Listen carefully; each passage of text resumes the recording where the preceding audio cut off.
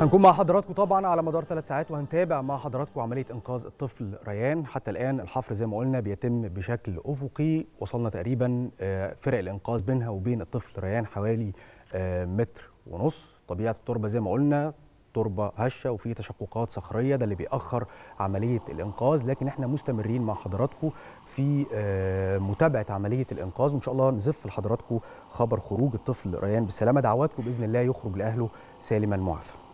طبعا زي ما قلنا هو الحفر بيتم بطريقة دقيقة وببطء شديد وبحرص آه، شديد وبحذر آه، شديد لأنه طبيعة الصخور آه، في هذه المناطق صخور هشه وعليه فرق الإنقاذ بتشتغل بدقة عالية. فيعني ربنا طبعا يقصر المده ويخرج ريان بسلامة لأهله ويطمن العالم كله لأنه العالم كله آه، متفائل ونفسه إنه آه، يطمن على ريان وريان يخرج بألف آه، سلامة من داخل هذا البئر. خلينا دلوقتي ناخد حضراتكم ونروح نصبح على زميلتنا دينا رجعت بالسلامة. صباح الخير عليك يا دينا. الحمد لله على سلامتك. الله يسلمك. وعافية. إن شاء الله.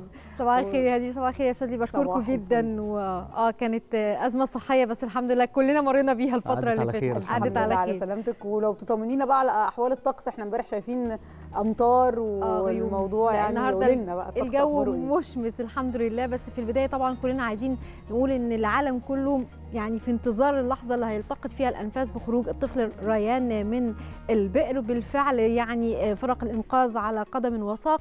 والمشكلة كمان زي ما كانت هدير وشاذلي بيقولوا إن في طبيعة الأرض والطبيعة الصخرية هم خايفين من أي انهيارات صخرية فبيستخدموا بعض الأدوات البدائيه حفظا على سلامة ريان إن شاء الله هو بطل وهيخرج بالسلامة وكلنا هنفرح بخروجه النهارده خلال الساعات القادمة.